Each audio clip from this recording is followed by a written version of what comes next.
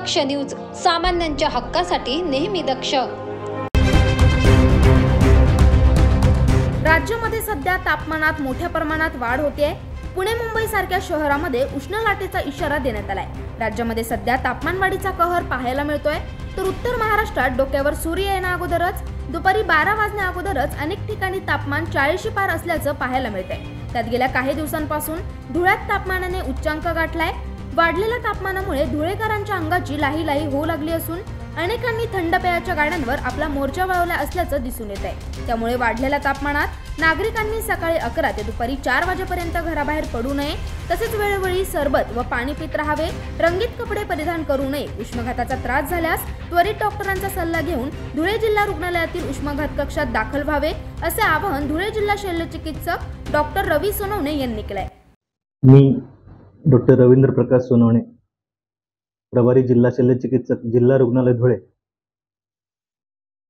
नागरिकांना जाहीर आवाहन करतो की सध्या एप्रिल महिना सुरू असून मागच्या आठवड्याभरापासून तापमानात वाढ झाली आहे. सरासरी ती चाळीस ते चाळीस एक्केचाळीस डिग्रीच्या पुढेच जात आहे.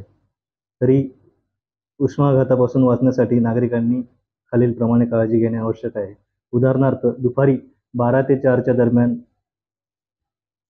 अनावश्यक फिरणे टाळणे मोटरसायकल किंवा सायकलीवर फिरणे टाळणे जर अतिआवश्यक काम असेल तर रिक्षाने किंवा फोर व्हीलरचा वापर करणे.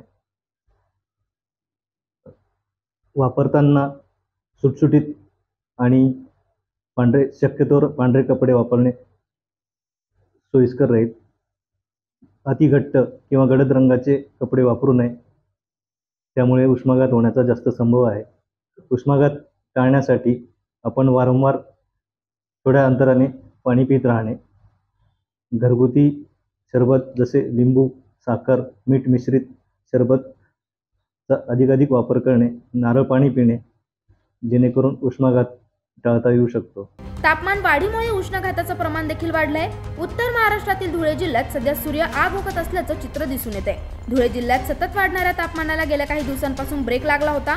मात्र आता तापमान चाळीशी पार गेलाय. चार दिवसानंतर पाचव्या दिवशी धुळ्याचे तापमान चाळीशी पार गेले असून तापमानात अजून वाढ होण्याची शक्यता हवामान खात्याने वर्तवली आहे. नागिंद मोरे दक्ष न्यूज धुळे.